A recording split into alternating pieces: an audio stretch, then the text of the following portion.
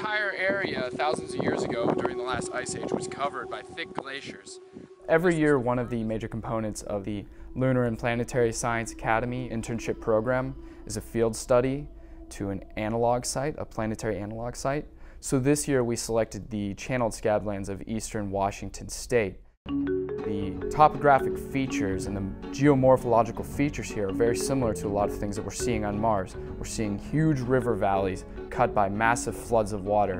And we also see columnar jointed basalts, which is something that was recently discovered on Mars with the HiRISE aerial camera on the Mars Reconnaissance Orbiter.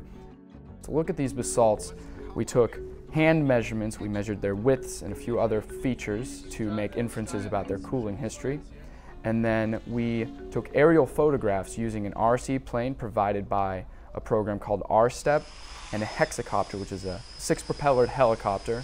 And our goal was to achieve the same resolution in these photos as we're seeing in the HiRISE images of the Martian columnar basalts. It's really convenient when we can find somewhere on Earth that's similar to something we're seeing on another planet because it's a whole heck of a lot cheaper to study here than to study there. So we learn what's going on here and then we can sort of extrapolate our findings to apply them to other planetary surfaces.